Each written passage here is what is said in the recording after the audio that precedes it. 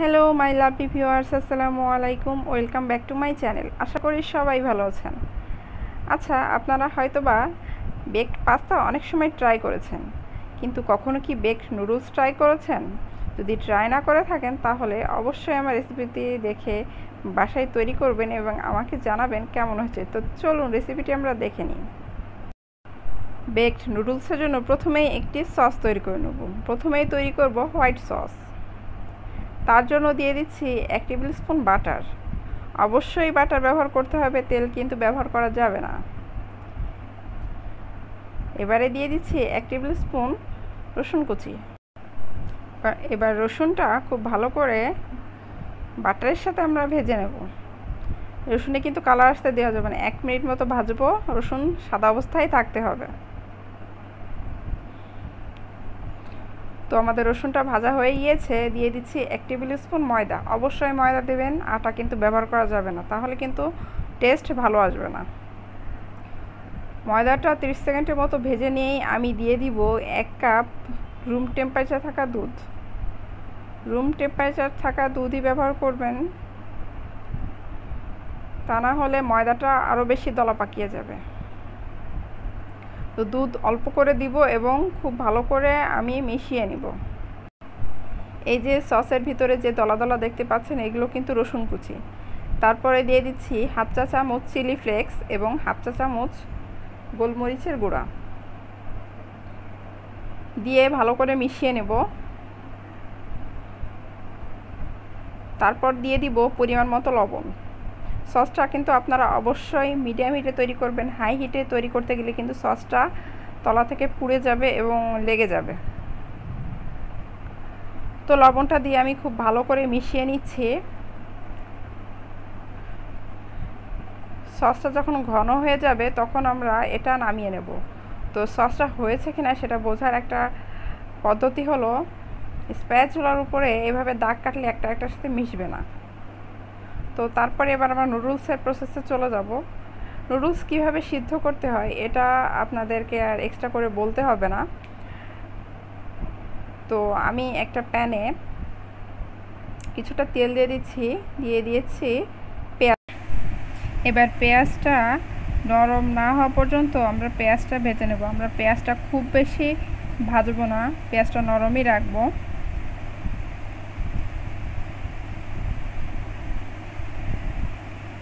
তারপরে দিয়ে দিচ্ছি এক টেবিল স্পুন আদা এবং রসুন পেস্ট। দিয়ে পেঁয়াজটার ভিতরে খুব ভালো করে ভেজে নেব।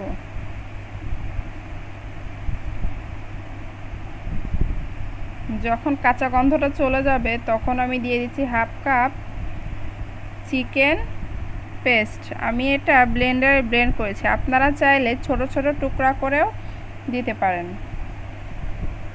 তো আমি খুব ভালো করে ভেজে নেব। তারপর দিয়ে দিচ্ছি এক tablespoon soya sauce. Soya sauce যদি আপনাদের বাড়িতে না থাকে, তাহলে না দিলেও চলবে, সমস্যা নাই।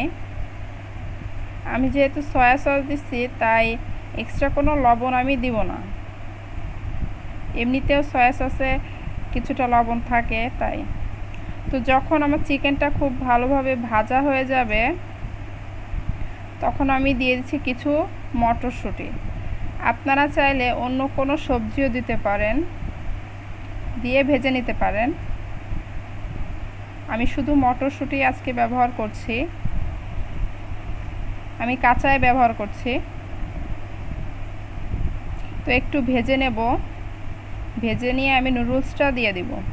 আমি আজকে কোকোলা স্টিক নুডলসটা ব্যবহার করেছি। আপনারা চাইলে যে কোনো নুডলস আপনারা ব্যবহার করতে পারেন।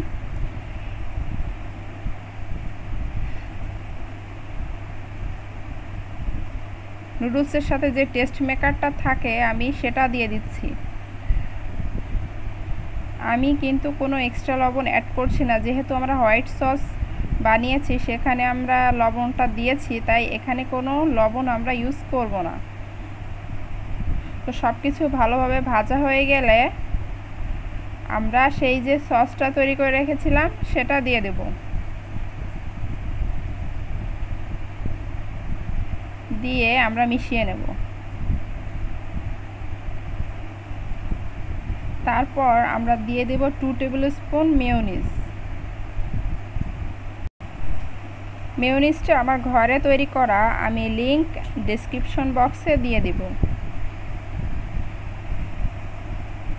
মেয়নিজটা দিয়ে আমি নুডলসের সাথে খুব ভালো করে মিশিয়ে নেব। তবে এই নুডলসের পুরো প্রসেসটা আপনাদের কিন্তু লো হিটে রেখে করতে হবে। তা না হলে কিন্তু নুডলস অনেক বেশি ফ্রাই করা হয়ে যাবে।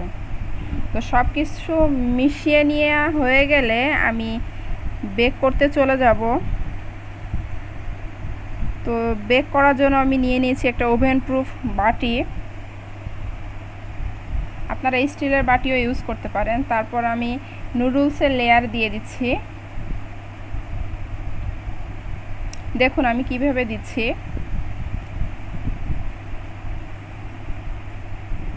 এবার আমি কিছুটা মোজারেলা চিজ ছিটিয়ে দিচ্ছি।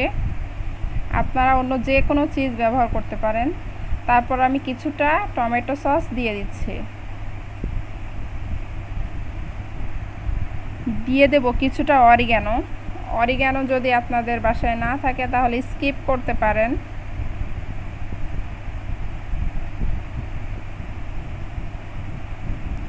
তারপর আবারও নুডলসের লেয়ার দিয়ে দেব।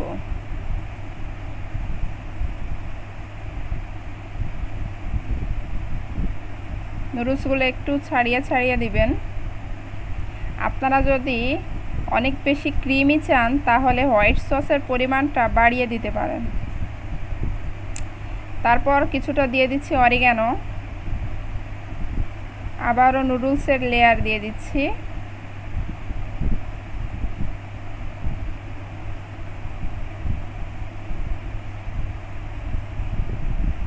আমি এখানে প্রায় থ্রি ফোর্থ কাপ মতো মোজারেলা চিজ ব্যবহার করেছি। আমি বাকি চিজটা সম্পূর্ণ দিয়ে দিব।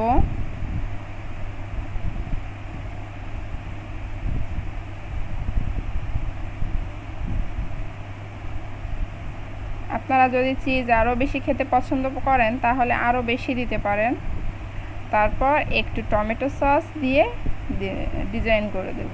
দেখতে যাতে একটু সুন্দর লাগে। টমেটো সস দিলে কিন্তু খেতেও টেস্ট হয় অনেক। তো আমি আজকে চুলায় বেক করব। তা আমি একটা হাঁড়ির ভেতরে স্ট্যান্ড এবং বালি দিয়ে প্রিহিট করে নিয়েছি। এবার আমরা বাটিটা দিয়ে দিচ্ছি। দিয়ে বেক করব চিজ গলে যাওয়া পর্যন্ত। আপনারা চাইলে ওভেনেও বেক করে নিতে পারেন।